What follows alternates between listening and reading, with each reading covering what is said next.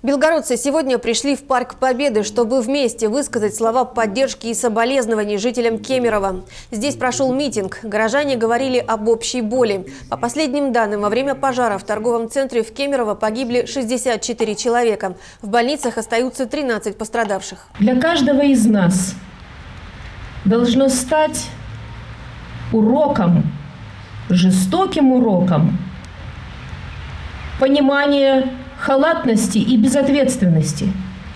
Каждый из нас несет ответственность за свою личную жизнь и за жизни своих родных и близких. Просто не знаем, что сказать в такой ситуации. Просто это очень-очень печально. Я плакала сегодня, когда ехала в автобусе. Просто это очень тяжело. Надо задуматься о том, что мы в ответе. В ответе за все, что делается в городах, как мы живем, как мы заботимся о безопасности. И я думаю, что сегодня белгородцы собрались на этот митинг с чувством солидарности и поддержки тем, э, кто попал в эту беду. Потому что мы понимаем, что мир хрупок. Слова, они ничего не передадут и не дадут.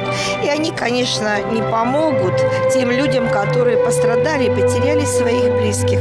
Но, может быть, зная то, что мы сочувствуем, может, им хоть на чуть-чуть станет легче. Подобного рода случаи сложно держать в сердце и выразить словами.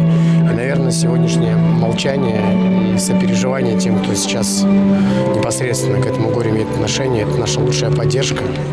То, что мы с ними, пускай даже через огромное количество километров, я думаю, мы надеемся, мы уверены в том, что они действительно почувствуют.